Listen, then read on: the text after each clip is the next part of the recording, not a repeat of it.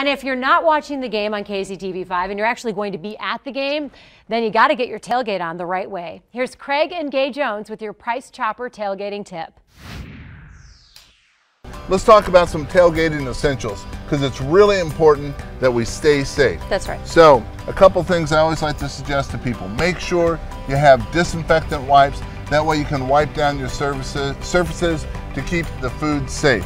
Next is have multiple utensils so that you're not using the same tongs for raw food and for cooked food.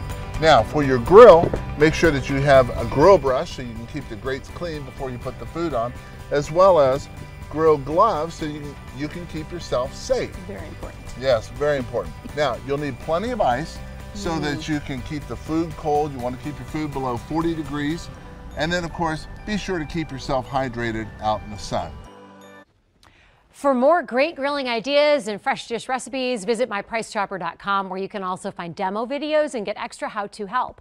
We're back after this.